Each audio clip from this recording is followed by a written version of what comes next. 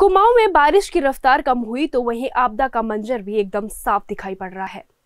रामनगर के ग्राम लदुआ ढिकुली में ऊँट की सवारी कराने वाले बिजनौर निवासी इस्लामुद्दीन उर्फ़ मुंशे की सात साल की बेटी आलिया रामनगर में कोसी नदी के तेज बहाव में बह गई। घटना के वक्त बच्ची बकरियों को चराने के लिए नदी किनारे गई थी। बच्ची को बहता देख वहाँ मौजूद पड़ोस की महिला ने भी तेज पानी में छलांग लगा दी। मगर तब तक आलिया पानी के तेज बहाव में ओझल हो गई।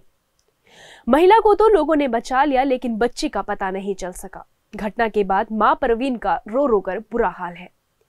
सूचना मिलते ही कोतवाल, Ashutosh Kumar, SI Manoj Nayal, police team को लेकर कोसी बैराज पर एकत्रित हुए और बच्ची की खोजबीन की। दूसरी ओर अग्निशमन अधिकारी किशोर उपाध्याय ने भी बच्ची की तलाश में अभियान चलाया, लेकिन कुछ पता नहीं चला। वहीं अंधेरा होने के चलते अभियान रोक दिया गया। अगर आप हमें फेसबुक पर देख रहे हैं तो हमारे फेसबुक पेज को लाइक करें यूट्यूब पर देख रहे हैं तो हमारे चैनल को ज़रूर सब्सक्राइब करें और बेल आइकन दबाना ना भूलें। उत्तराखंड की तमाम छोटी बड़ी खबरों को जानने के लिए बने रहे हमारे साथ।